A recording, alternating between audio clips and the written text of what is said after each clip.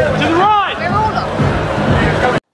Thanks for watching. If you like that, give us thumbs up and subscribe for more videos from ZT Images. If you didn't, subscribe anyway, it's free.